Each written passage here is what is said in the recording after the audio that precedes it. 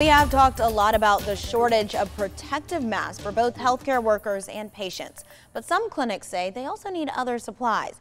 Our Caitlin Heck joins us live from her home with more on how some Central Georgians are helping out. So, Caitlin, what do healthcare yes, workers say they, they need? need disposable gowns. I talked to Kim Hickman. She is a nurse practitioner at Perry Family uh, Clinic, and she said that the virus can get on their clothes or their scrubs and then can easily be passed from one patient to the next.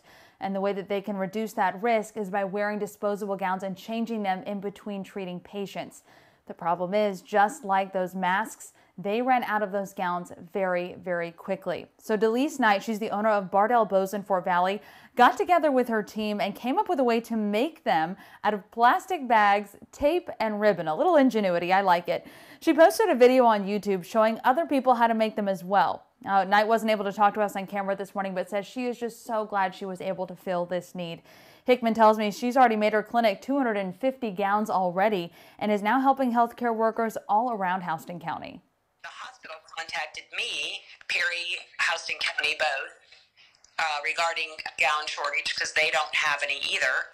And so we put them in touch with Delise Knight, and Delise was able to send a truckload of gowns.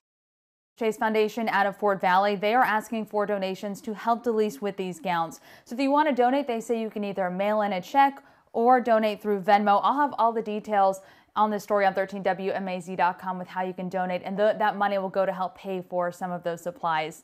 And Aaron, it's just another way that people are coming together using a little creativity and what resources they have to help out during this time, and I just love it. I do too. I love seeing all these good deeds, Caitlin. Thank you for sharing that.